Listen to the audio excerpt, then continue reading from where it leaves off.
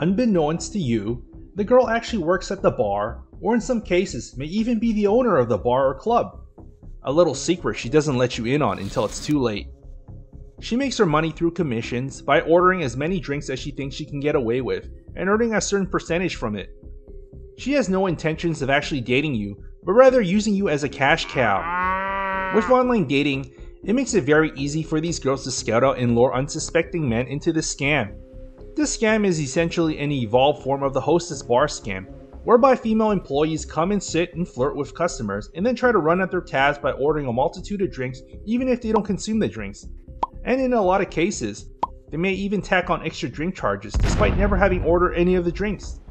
Now this scam isn't just exclusive to Vietnam though. I've personally seen it being used in other developing countries as well.